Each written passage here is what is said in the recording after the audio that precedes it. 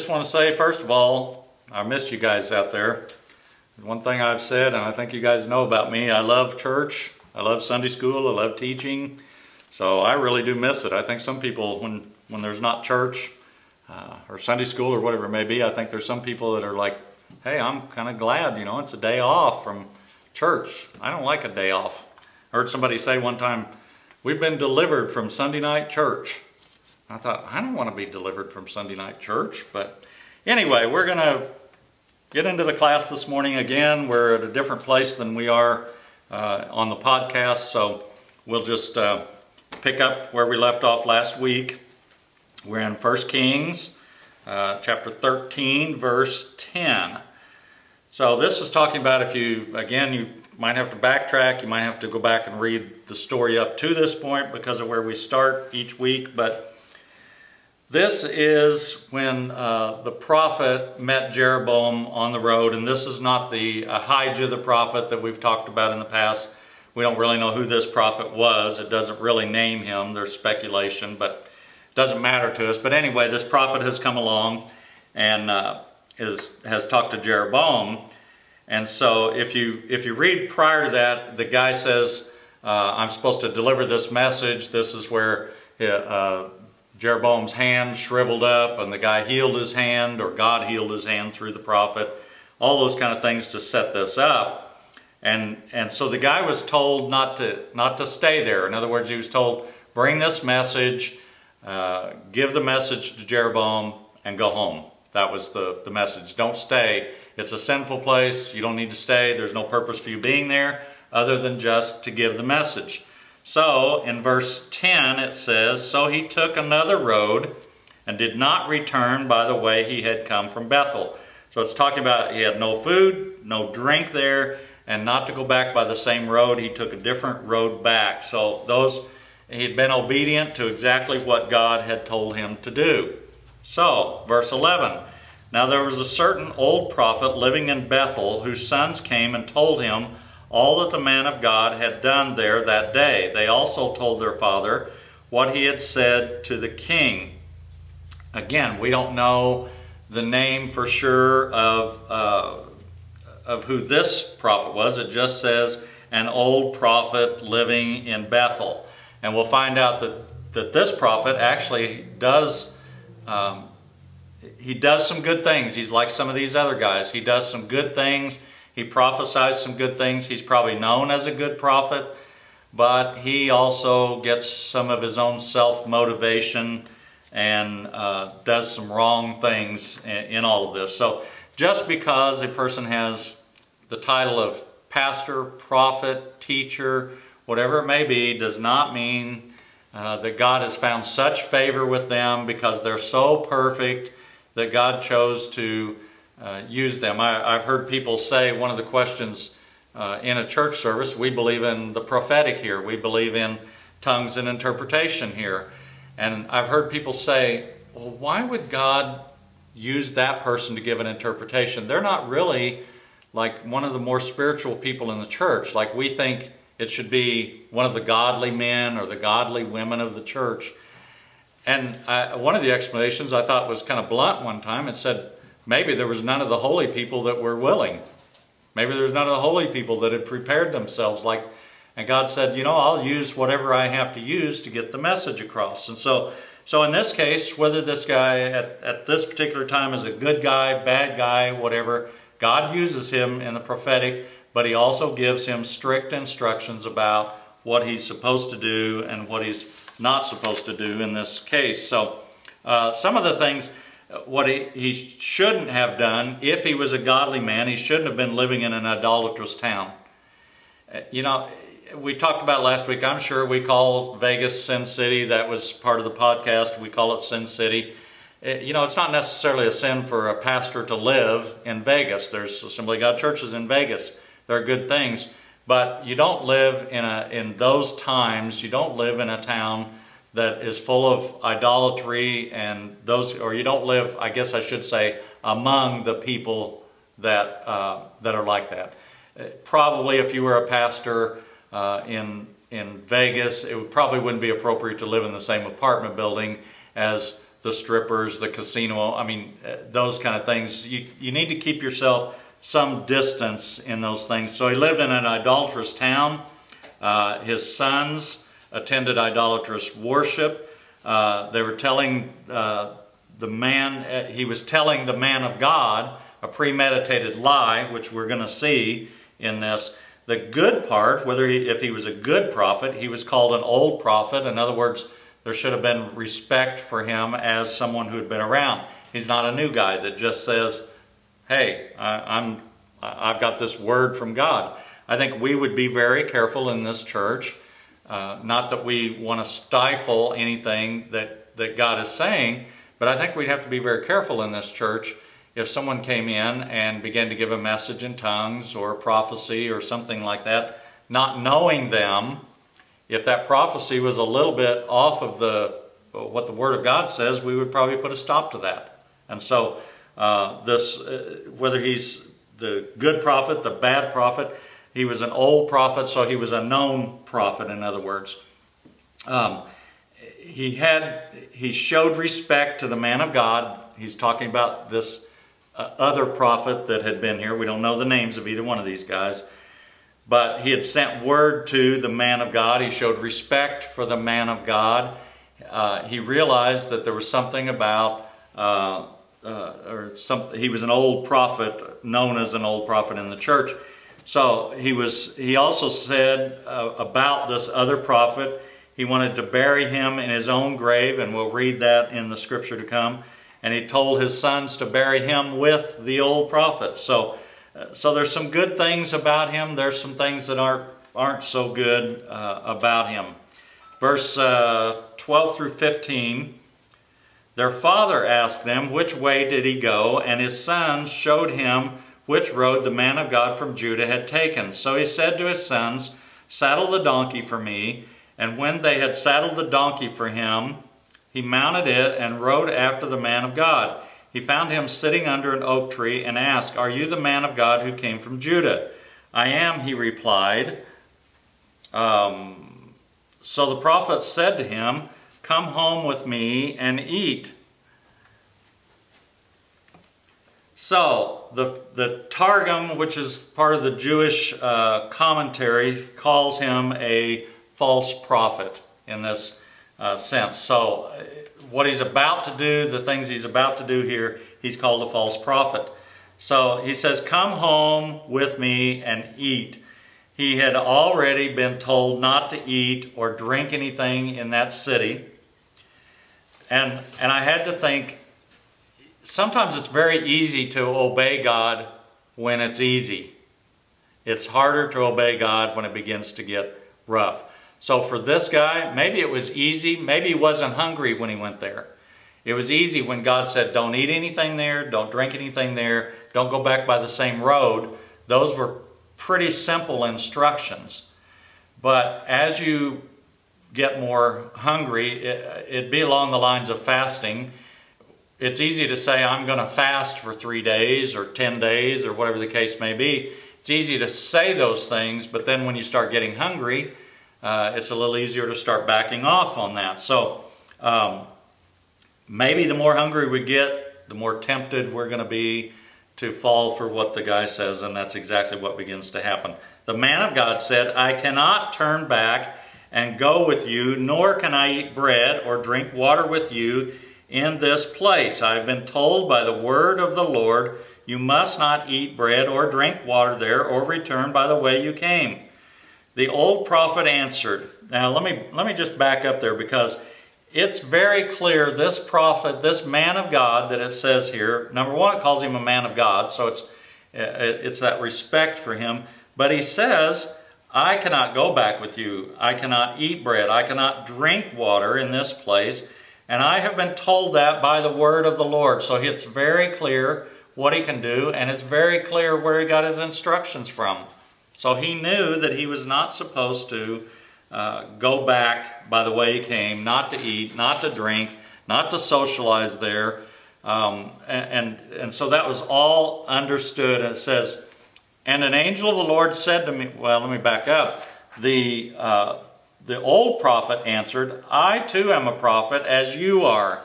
And an angel said to me, excuse me, by the word of the Lord, bring him back with you to your house so that he may eat bread and drink water, but he was lying to him. And so this guy that was probably a respected prophet, the old prophet, we have the words right there, but he was lying to him.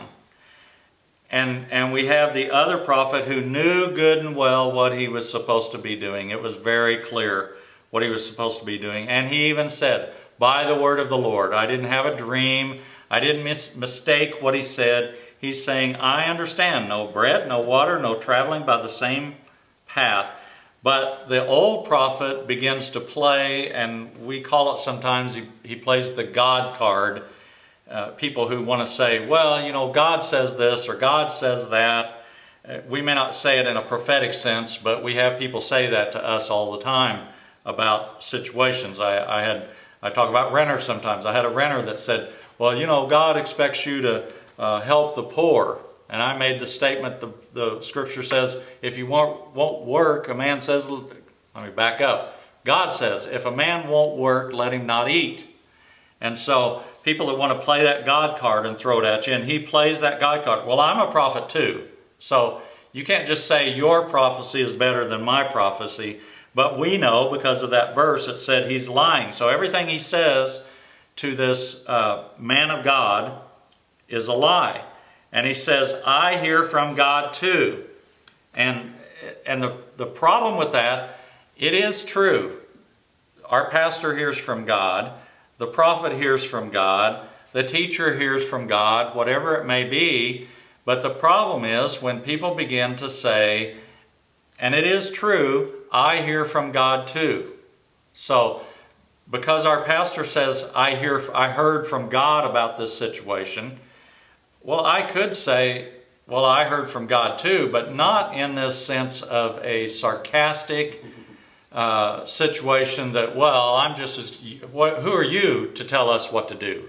I hear from God too. And, and that's fine if I can say, truthfully, if my pastor and I could have a conversation and say, what do we do about this? Because you said you heard from God and I'm hearing something different. We need to figure this out. We need to figure out who's who's hearing from God here. What, what, what is God speaking to us? But not in a manner where, again, I go out and say to other people, well, you know what? I hear from God too. And then I begin to get people to believe in me because, well, I've been here a long time. You people trust me, don't you? I mean, you've only known Jer Pastor Jeremiah, you know, a couple of years, and he's saying this. Well, who are you going to trust? I'm the old prophet in this. I mean, that's what this guy is. You know, I'm the old prophet. It names him as an old prophet. I hear from God too, and I, I want I refer to this every time I talk about this. I refer to Miriam, Moses' sister, who made that statement in Numbers 12, 12, it says, she says to Moses, Has the Lord spoken only through Moses? Has he not spoken through us also? In other words, it was a, it was a, uh, an issue just like what I talked about. It was a sarcastic, I'm just as good as you are. Why should we listen to you, Moses? Or why should we listen to you, Pastor, about this situation? Why should we listen to that? God speaks to me too. And God didn't tell me that. So why should I listen to you? And let me just remind you of what happened with Miriam. She was stricken with scales like snow. In other words, she was stricken with leprosy immediately. This was not, uh, sometimes you say, well, I don't know if that's a direct uh, punishment from God, or I don't know if that happened to me because I sinned, because three years ago I did this thing and now I'm struggling with something. Well, I can't always look, well, that, that was because I sinned three years ago. That's why that thing came on you. This was instant. It was like, uh, well, it was just like Jeroboam who just stuck his hand out against the prophet and his hand shriveled up. This is the same situation with Miriam. Immediately, she's stricken, stricken with scales like snow. Uh, she was put out of the camp for seven days, and isn't it ironic that we're uh, right now we're in a coronavirus quarantine. Some people to different extents, but there are people who are stuck in their houses for the next two weeks, 30 days, uh, 14 days. We've heard all kinds of different things with that. But she was taken outside the camp for seven days because she was contagious. Leprosy is contagious. You, you go outside the camp. You can't fellowship with anybody. You can't have contact. I mean, it is so uh, amazing how the Word of God speaks to us at timely manners is talking about uh, Miriam here and what happened to her and the quarantine that she was put under. And we know some of us have not been quarantined like others, but some people are about to lose their mind being stuck uh, in their house. And, and in the, uh, well, let me back up. After this happened, after she was placed outside the camp, she never speaks again. It doesn't mean she couldn't speak. I'm not saying he took away her ability to speak, but she never speaks again. She never, it, we never have a thing that she said to Moses something else. So she never speaks and has never spoken to or spoken of again until Numbers 20 and 1. So this was uh, in Numbers 12. In the 20th chapter of Numbers, it speaks about her death. And that's the next time she's spoken of. And so there was a serious consequence for making that statement, well, God, I, God speaks to me too. Uh, I'm just as good as you are. I can say the same things you can say. So, and in the, in the Jewish morning prayers, and I'm not going to go through the whole thing, but there's six, it, it quotes six things to remember. So in other words, if, if we were Jewish and we were reading through our prayers, it talks about six things to remember. And let me just mention one of those. It says, Remember what the Lord your God did to Miriam on the way as you came, out of Egypt. And so, what she had done by speaking against Moses, by speaking those words to Moses, she was struck with leprosy. She was never spoken of. She was never spoken to, or we don't have a, record of that. And then it went clear into chapter 20 before it even spoke of her death. And now it's, it's reminding them every day, remember what happened to Miriam. Remember what happened to Miriam. Well, why would you say that? If, if that was so important, why would God uh, uh, emphasize that in their morning prayers? Why would they emphasize that? Because they want to make sure that they don't speak those same words while I hear from God too. 1319, so the man of God returned with him and ate and drank at his home. Uh, he violated all three commands. And I have to wonder in this case, did he um, he violated all of those commands. Did he think, did I misunderstand God? Because now this other prophet that is so, um, so much smarter, so much older, so much more wisdom, maybe I misunderstood God. I don't think he, I don't know that he was, well, he was fooled to a certain extent because he understood prior to this pretty clearly what he was supposed to do, what he was not supposed to do. And so um, he, he didn't practice what he preached. He said the words, I'm not supposed to do this, and then went right ahead and did what he had just said, I'm not supposed to do. Uh, 13, 20 through 22. While they were sitting at the table, the word of the Lord came to the old prophet who had brought him back. He cried out to the man of God who had come from Judah. This is what the Lord says. You have defied the word of the Lord and have not kept the command the Lord your God gave you. You came back and ate and drank water in the place where he told you not to eat or drink. Therefore, your body will not be buried in the tomb of your fathers. Uh, this, this story is a little bit confusing here because we just have the record of the old prophet. It says he lied. He was lying by having him come back and then it's a strange thing because the, the, it says the word of the Lord came to the old prophet. The old prophet who had just lied, who had just deceived this man of God, now God uses him to speak words against what he had just asked the other guy to come and do. And, and I, I have to think, I try to put these questions, what would I, if I was this man of God who came back, what would I say? I would say, you're the one who asked me to come back. How can you give me this prophecy? It's your fault that I'm here. Why would God judge me? I thought you were the true prophet. Why didn't God reveal to me that you were a false prophet? These are all questions when, when we begin to get punished, we begin to want to blame someone else. Instead of just saying, you're absolutely right. I have defied the word of God. I've gone against what God... But uh, instead, I would, most people would begin to make excuse and begin to blame God. Why doesn't God just speak to me? Why didn't he have to tell you I'm a prophet? Why do you have to tell the other prophet to tell this prophet? Why couldn't I just do it? And and why why didn't God talk to me? Uh, is it really that big of a deal that I just ate and drank something? And again, we try to we try to reason why God doesn't want us to do something, which is a, a terrible thing for us to do. Why can't we just say, God said no, and leave it at that? But my questions, and, and maybe this prophet would say, well, yeah, I came back here and I ate and drank, but what's the big deal?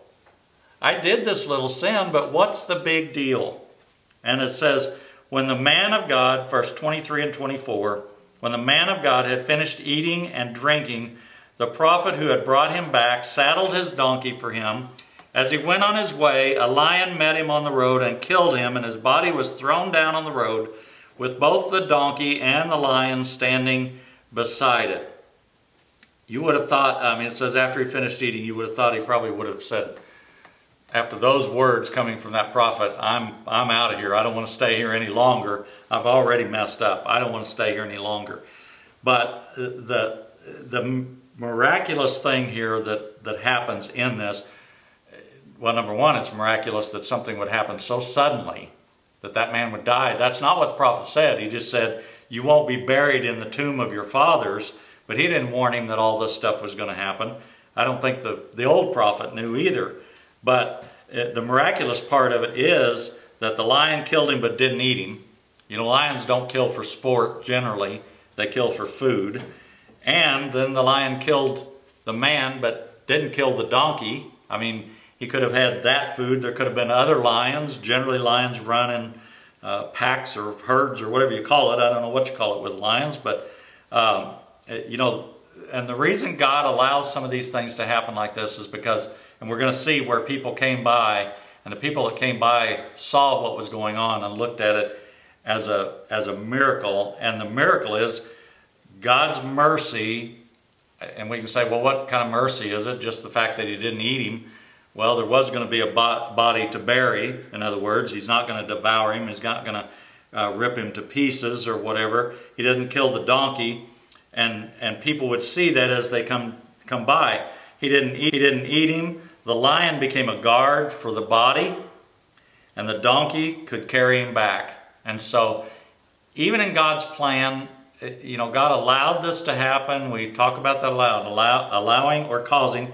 God allowed this uh, to happen to this guy, but then in His mercy, doesn't the lion doesn't devour him, the donkey doesn't get killed, so that they're able to put the, the man on the donkey, and that's part of the uh, story coming up.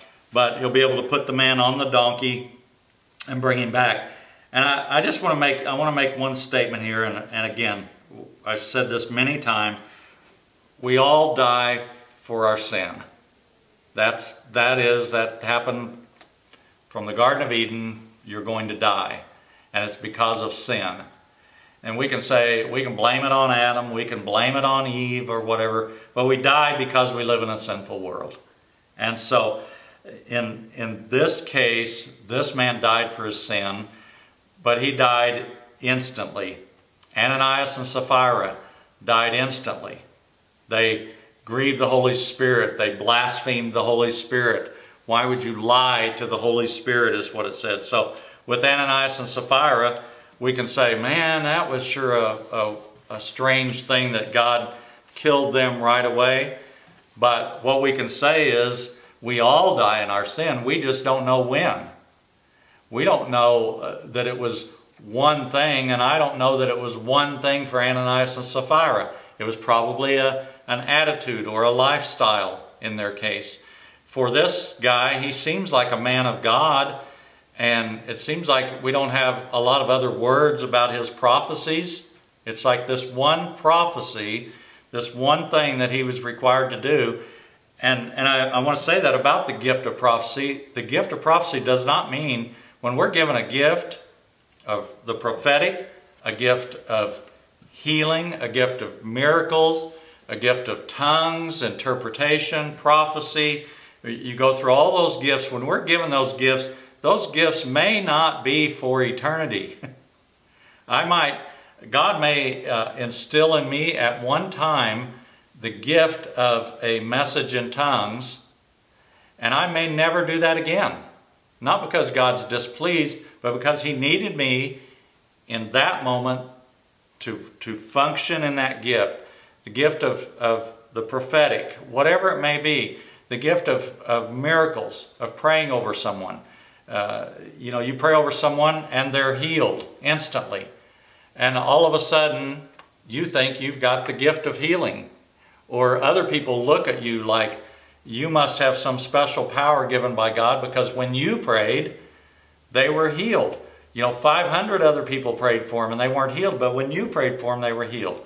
God can use us in a, in a gift of His Spirit on a one-time basis. We don't know anything about that other prophet. We don't know if this was only a one-time uh, instance that he was used or whether he had been used many times and this was just the only one recorded. But it very well could be but that that prophet up to that time had lived a godly life, was used by God, and then God was finished with him.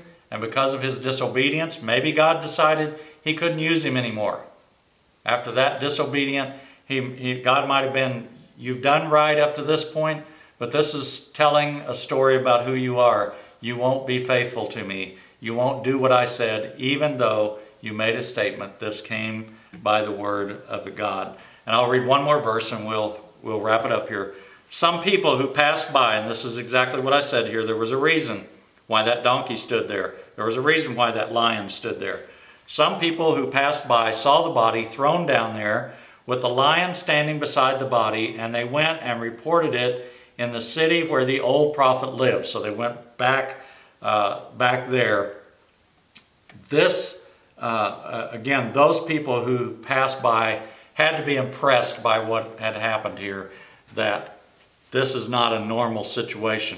I'm sure they passed by and saw that lion standing there, maybe had some fear that that lion, lion would attack someone else, but they had to be thinking this is a strange situation that this lion has killed this man, but he didn't maul him, he didn't eat him, devour him, and did nothing to this donkey standing there. I, have kind of got that picture in my head of this body laying on the ground with a lion on one side a donkey on the other side.